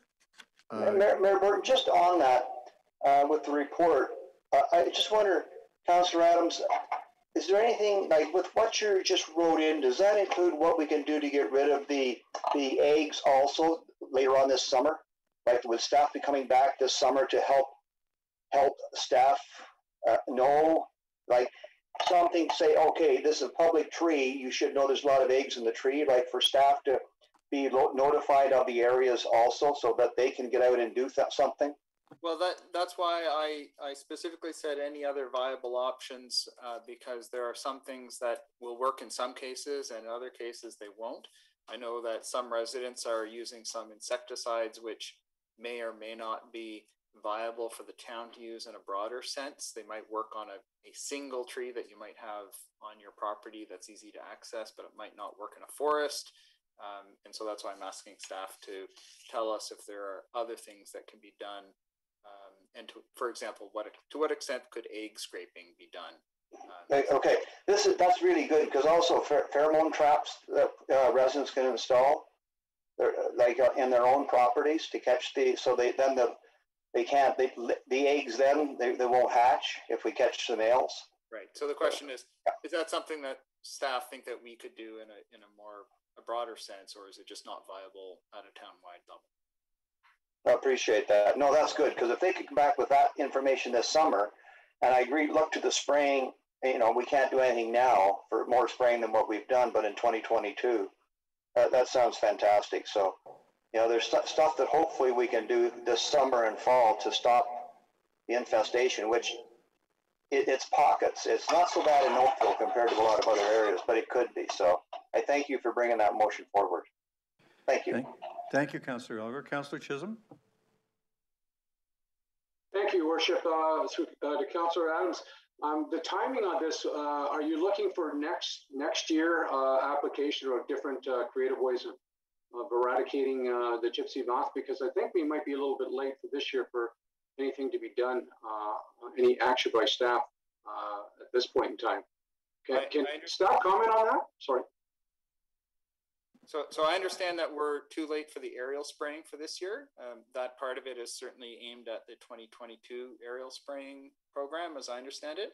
Um, and my other part is asking if there are any other things that could be done uh, during the rest of this year. The answer might be no. There's nothing really that could be done. Um, and if staff have further information, I'd be happy to hear it.